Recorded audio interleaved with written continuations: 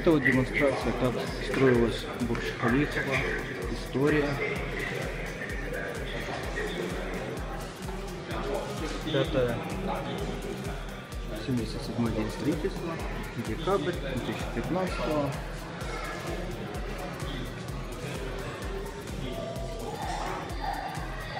На момент 2006 года сентября уже вот только построили. Это у нас 2007 год январь.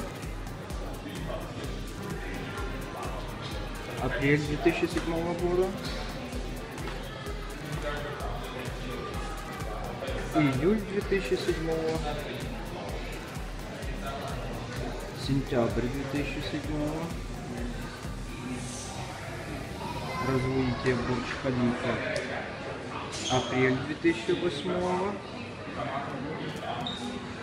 828 день строительства. Бурдж-Халифа